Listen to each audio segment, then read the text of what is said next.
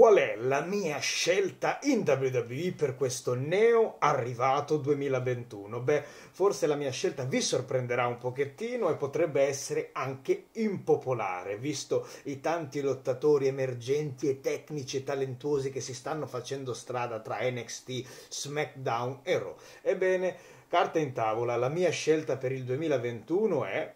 Homos, ovvero il gigantesco lottatore di colore che sta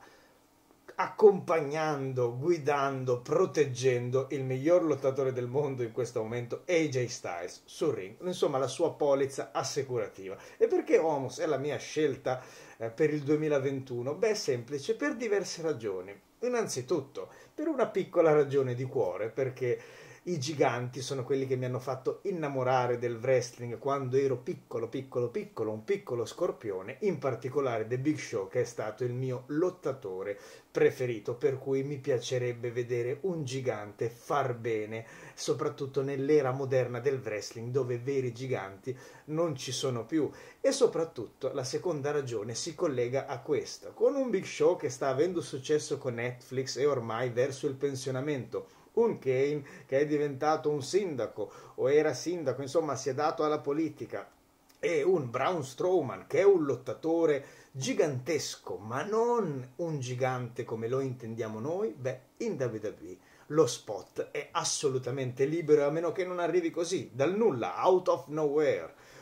Un altro gigante, ma sappiate che sono veramente difficili da trovare al mondo personaggi come, come Homos, lui avrebbe uno spot intoccabile in WWE, deve solo sapersi giocare bene le sue carte, essere furbo e imparare i metodi della WWE per non appunto bruciare il suo personaggio come hanno fatto altri lottatori giganteschi in WWE, magari nell'Attitude Era si vedevano lottatori anch'essi alti più di due metri che però ballavano, indossavano cappellini buffi e quindi sono stati completamente rovinati. Big Show è uno dei pochi che forse si è salvato e ha saputo adattarsi e diventare il secondo miglior gigante dopo Andre the Giant, quindi un peso non da poco e per questa ragione Homos può far bene perché accompagna sul ring ma